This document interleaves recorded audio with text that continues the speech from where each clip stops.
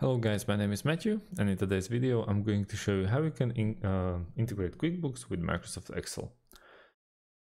First things first, we have to log into our QuickBooks account or create one and as you can see and discover more, you can import your data from Excel straight away.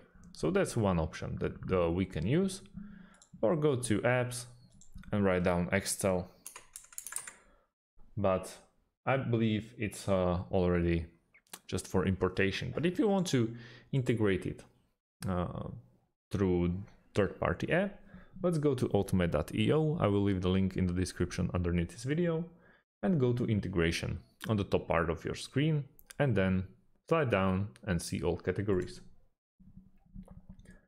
Once we are here, we can pick from 200 more apps, but we want to start with QuickBooks like this. Once we uh, choose QuickBooks, let's go to the opposite side, to the integrations, and uh, write down Microsoft Excel. Straight away, as you can see, Automate.io is providing us with some popular integrations, but if we won't be able to find the one that we are looking for, let's scroll down and go to create your own integration. Just remember, on the left side, underneath the triggers, you want to start with uh, QuickBooks. So there's a couple of options for you. On the right side, underneath the actions, you want to scroll down and pick from three options from Microsoft Excel. Let's stick to the first one.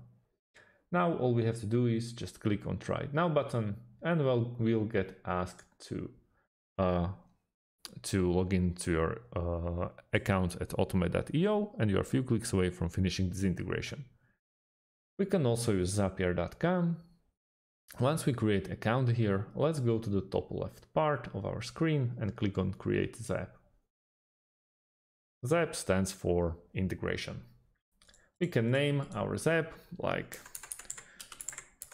QuickBooks to Excel, for example, and let's start with the integration itself. First, the trigger. It works quite the same like it works at Automate.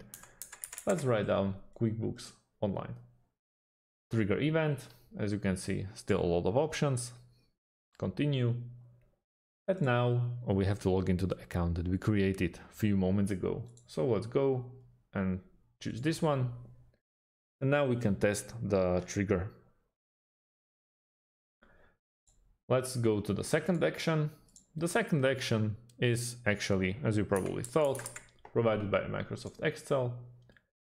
Uh, now let's pick the let's pick the action. Let's stick to the first one. We hit continue.